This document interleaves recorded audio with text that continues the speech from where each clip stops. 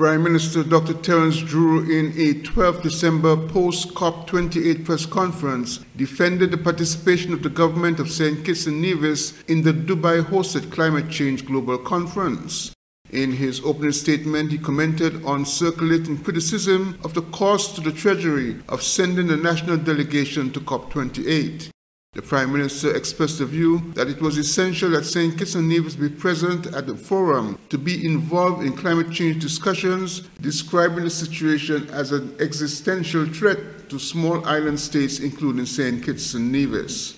Our country, these small island states, especially in the Caribbean, we are facing the fact of whether we can continue to exist or not.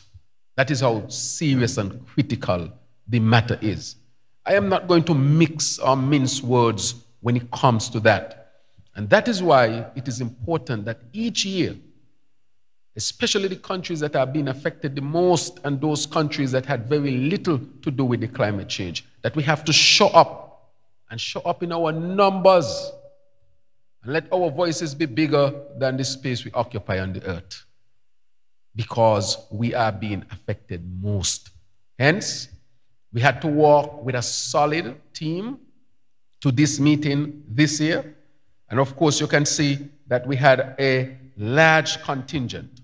But I want to set some things clear that that large contingent was extremely necessary for us to make the necessary arguments, for us to put forward our own positions so that we could be very clearly understood. Beginning, that what we did here was in um, collaboration with others so that people do not think anyway that we spent a lot of money to take a large contingent to, to, to COP and that it caused the country of St. Kitts and Nevis significant amount of money. That is not so. As a matter of fact, the COP was basically sponsored. And I want to thank those who participated. The Prime Minister disclosed a list of global institutions and organizations, as well as the government and people of the Republic of China, Taiwan, as sponsors for their trip to the Dubai conference. Glenn Bart reporting for SKN Newsline.